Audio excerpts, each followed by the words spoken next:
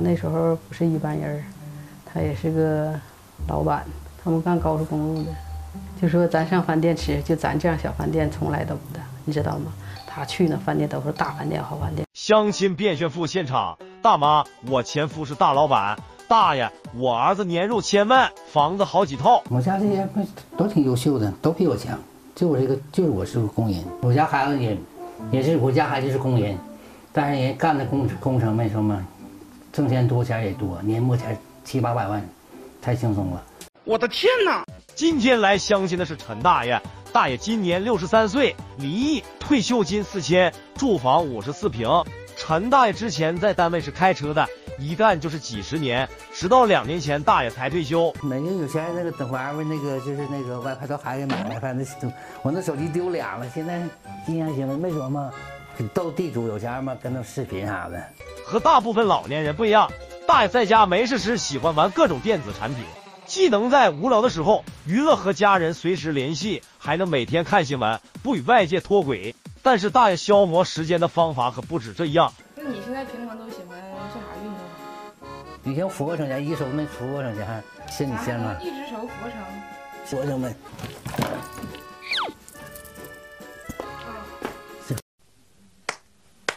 大爷还是个劳逸结合的人，大爷每年的生活都围绕着健康与快乐，总是保持着一个好心态。毕竟人活着就要看开点，天底下没有迈不过去的坎。之所以这样说，是因为大爷之前有过一段坎坷的感情。那天我就是我就是个工人，那你跟他不是门当户对吗？当时？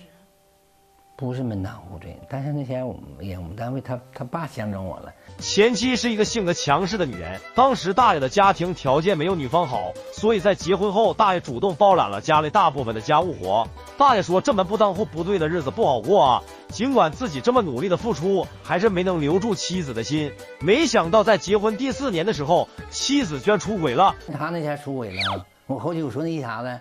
他是谁呀？二姐夫。后期跟孩子一说，小因为小孩不操，孩子说：“爸，我二姨夫上咱家来了，一睁开眼就整那恍惚惚。”孩子，那孩子不撒谎。当孩子说出这些事的时候，大爷心里非常生气。但是，一想到孩子这么小，为了这个家，大爷还是选择了原谅。于是，大爷就给了妻子一个选择：先为了孩子吧，寻思跟他那孩子那个。上家哈，我说那你到你跟你家，你听你二，你跟你二姐，人家跟我，以后咱就不搭理了。完他呢，谁知道他是为啥没跟我走？这所以说我心就死了，所以说我就跟离婚了。看到妻子心意已决，大爷也只好选择了离婚。离婚后，大爷一边挣钱养家，一边还要照顾孩子，这样的生活并不轻松。大爷立志要给孩子一个好的生活环境。大爷告诉红娘，自己问心无愧，现在也想开了。过去的事就让它过去吧。如今自己年纪也大了，身边没有个人陪伴，那是真不行啊。所以大爷就想着再找个老伴，就想找个就能过日子，对我一心一意过日子。哎，年龄最好啊，是八十八，那最好是有退休的，退休工资少点也可以。邋遢的不可以啊，最起码找个人利索干净的。男女之间嘛，没有包容心，成不了夫妻，这个我都能做到。大爷就想找个年龄相当、干净利索、能陪自己走到老的人。根据大爷的要求，红娘找到了王大妈。大妈今年五十七岁，丧偶，退休金两千八，住房七十平。一个月咱们得是多少钱？一千一千四，也不便宜，还行。也不便宜，好像也不贵吧。两个多少？退休就是才开了不到三千块钱。大妈现在是租房住的，这每个月的租金可不少。但是大妈说，除了退休金之外，还有其他收入呢。退休手下很很多家还继续干着呢。有时候我天天就往税务局跑这些事儿。你这一个月加起来总共收入得有多少钱？一万块钱吧。Nice，好家伙，月入过万的大妈，我还是第一次见到呢。王大妈的老伴去世有四年了，医生说老伴去世的原因就是酗酒。也像我爱人他们那时候搁干高速公路喝的，肝喝坏了。不光是他，他手下很多朋友都喝酒，老多都四十多岁就走了。因为身体的原因，老伴提前退了休，开始回家休养生息，每天都在医院治病调理。在生病的八年里，老伴在工程上挣的钱也全花光了。即使是花光了所有的积蓄，老伴。最后还是去世了，说钱也没少扔啊。反正当时也是有那个条件。嗯，八十多万都扔进去了，就走了。一个月有时候都得一一一万呢，还是七八千都得。为了治病，儿子把自己的婚房都给卖了。在老伴走后，大妈就把房子给了儿子，自己出来租房住。但是一个人生活的日子实在是太难熬了，所以就想着再找个老伴。喝酒呢，不是说一口不喝，喝也别说天天喝，喝大酒喝没完没了的，反正就是说酒少喝，我人品好点儿哈。现在退休就开个三千多块钱儿、四千块钱儿，不就也挺好的吗？有吃喝就行了呗，是不是？只想找个本地的，不抽烟喝酒的最好。而大爷就刚好符合大妈的择偶标准。于是，在红娘的安排之下，大爷大妈终于是见面了。走啊，进来呀！走啊走啊，干嘛还好不是自己家似的呢？大爷这明显是没有准备好啊，状态一直很紧张。见面之后，大妈对大爷的第一印象很不好，直言不是自己喜欢的样子。我觉得不对似的，心里不对。看他一眼，我就觉得不是不是以后我爱人。两人坐下来后，大妈就说起了自己去世的老伴。那时候不是一般人。他也是个老板，他们干高速公路的，就说咱上饭店吃，就咱这样小饭店从来都不的，你知道吗？他去那饭店都是大饭店、好饭店，每回回来的时候，他手下很多朋友开的车都跟着他。我家那不是一般人，我都告诉你们。拿出来做对比，这种感觉。嗯，对，还是说对比啊？那不行，那不是跟人对比也对比不上。我家那不是一般人，我跟你说。炫耀自己以前不，她老公不是一般，都是一般人，有什么不是一般的？这才刚见面就炫耀自己的前夫，说自己前夫是大老板，说明白了就是有点看不起大爷。听到这里，一边的大爷心里也是相当生气。大爷说他这就是在炫耀自己的前夫，觉得自己被大妈小瞧了。紧接着，大爷也说起了自己的情况。我家孩子也也是我家孩子是工人，但是人干的工工程没什么，挣钱多钱也多，年末钱。七八百万，太轻松了。嗯，一个月七八百万呢？没有年年终奖七八百万，年终七八百，一个月几万块钱。好家伙，这俩人一个比一个能吹啊！俩人之间的火药味也是越来越浓。接下来，大妈又说出了一句话：相亲现场瞬间变成了炫富现场。我家那时候是，咱得说，又给我买车，这那啥都不差。给我买房子，我都知道。你说嘛，一百三十八平，从来没有这么点个小房子，一个人住行，俩人这么点儿小房子是不行的。你知道，我专门，你刚才上我家去，你看了吧？专门有一个屋，像办公室似的，那么多东西都得放，那些账啥的。我房子是小，嗯，小的，用不多，好像用不半年，也是也会变大的了。这种的变大，我一分钱不用拿，不用花钱，孩子都是孩子负责。家孩子外面房子也不少，那个身上光给我买就买两套。